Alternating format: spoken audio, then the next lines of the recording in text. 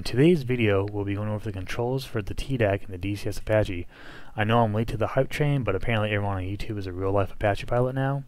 Uh, that's just some small banter, don't take it seriously if you are or not. It's just a joke. Uh, so the purpose of the video is just to address a simple way to map the controls for the TEDAC or gunner hand station for the front seat of the Apache.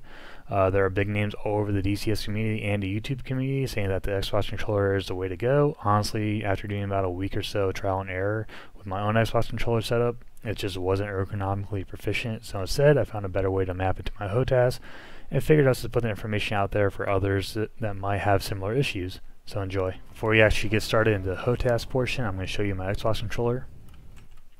This was my setup for the Xbox controller. It doesn't look bad until you actually look at it and you're like, wow, that got cluttered real quick. Um, you start doing your modifiers, your left hand grip and your right hand grip modifier, then you combine modifiers. It just wasn't proficient. There'll be times during like the middle of an engagement, I'll be like, hey, sorry, I don't know what I'm doing right now. Let me look at my controls. And yeah, that situation alone is not good at all. With it being then like say I wanted to pan a little bit right with the TADS, I'll hit right stick and then I'll just keep drifting. It's like, yeah, that's not what I want. So I found a better way to do this, which I'm about to show you guys. Alright, so how you're going to do this, you're going to go to modifiers. So actual modifiers, you're going to go to switches. What this does, it literally turns the control switches on and off. So, for example, in the front seat, I have 13 selected. This is going to be my or my TEDAC. Uh, or my gunner hand station. So that controls are all set up for the gunner hand station. I'm killing targets. Say my buddy Hooters in the back seat flying. He's like, hey, I need to take a leak. Can you take controls? I request controls. He gives it to me. I flip it over to 14, and now my controls are instantly set to my pilot stick, and I'm flying from the front seat like I would be in the back seat just with my pilot controls. He comes back. He's like, hey, I can. I got control again. I go back to 13 and then I'm instantly back on the TEDAC killing targets. It's that simple. I don't know why anyone's talking about it, but here you go. You're welcome. Alright, so how do you set it up? Say this for example, you're going to go to modifiers. We know 13 and 14 is my switch. Say it's a TEDAC uh, modifier, we're going to go 13, whatever it is, and then you hit OK, and now that's set up for your TEDAC. Alright, before we actually get started, on the left side is going to be my HOTAS control setup, and then on the right side will be the TEDAC uh, HOTAS or TEDAC control setup. So if you want to map it to whatever one possible, or get an idea how to map it, there you go. And then if there's something I need is like a of visualization demonstration, so like say FLIR or TV mode, I'll show you a quick video what that control does as well. Alright, one last disclaimer, I have a Thrustmaster Warthog, so I might be able to buy more than you, you might be able to buy more than me. Whatever the situation is, again, KISS method, keep it simple, stupid, don't overcomplicate it, make it easy so you can able get rounds on target and be proficient. Alright, so as actually get started, make sure you got CPG selected. Let's go to TEDAC. TEDAC is selected. Now you notice there's a bunch of controls here, not just what I have, but in general. I have what you need uh, to be proficient. So I'm going to flip my switch to 13, which is TEDAC. Now we're going to go my left hand grip first. We're going to go field of views right here. Alright, so we got wide, which is going to be your default zoomed out view. Then we're going to go M for medium, which is going to be your next level of zoom. Narrow, which is even more of a zoom. And then finally zoom, which is fully zoomed in. Next is going to be your cursor enter. So cursor enter, this is pretty much your M MPD or MFD cursor moving around the screen, then whatever you want to select, you hit enter. Honestly, I don't use it that often. Alright, next is going to be store. So this is really important to have as a gunner.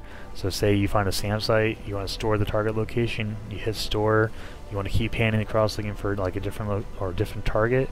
Then you want to go back to that store target, you go on MPD, find your store location, hit that, hit slave, and you're back on the store uh, target you, that you stored.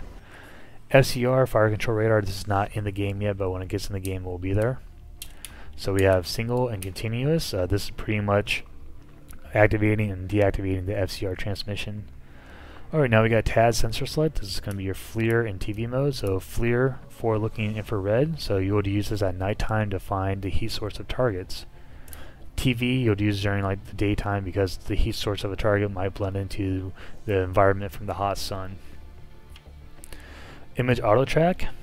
forward and aft. So this is also not implemented yet. It will be shortly. So forward would, sorry, forward would activate a gate or auto track, and then forward long would activate tracking gates. So say there is a SAM, for example, and you need to manually adjust a gate. That's how you would do it. And then you want to get rid of that track. You hit aft. FCR modes again not implemented yet, but they will be shortly. So we got uh, ground targeting map, we have terrain profile mode, air targeting mode, and radar uh, map. That pretty much covers what I have on my left uh, HOTAS controls. Some of them might be on the right stick as well, but it's okay. Alright, so now we got the right stick. So sight slave, this toggles the FCR or TADS. If you're using like an acquisition source as your helmet or your IHADSS, uh, this will slave it to whatever you uh, whatever you have set. So like if you're using an HMD, you slave it, and wherever you look, the TADS will look, or the FCR will look at where you're looking.